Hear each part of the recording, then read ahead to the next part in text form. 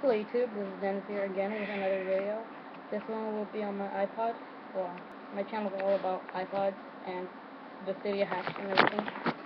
Um, this one will be about freeing space on your iPod Touch, your jailbroken iPod Touch, because it says too much other space. Like, your other is taking too much space, and a lot of people have been trying to figure out ways post it on YouTube, but I actually found out why. So I'm gonna go ahead and open up my settings and show you guys how much memory I have right now. There it is. 2.5 gigabytes available, and I only have a few apps. So the reason why the other is taking up too much memory is because you have too many downloads on here.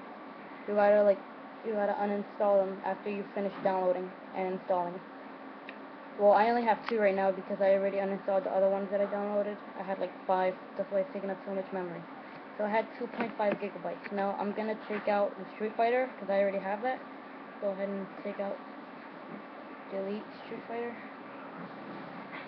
No, Alright, so Street Fighter is now deleted.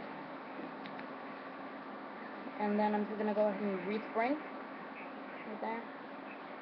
So let's just wait for that to respring playing on cherry right now. Mm-hmm. Okay, so my device is has finished respringing. Oh, I'm pretty sure it's finished respringing. Yeah. Oh, here we go. It's respringing. Let me just unlock it. God damn it.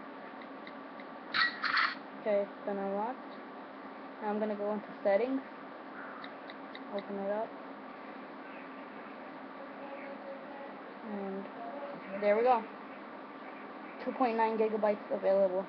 You have just seen it like right now.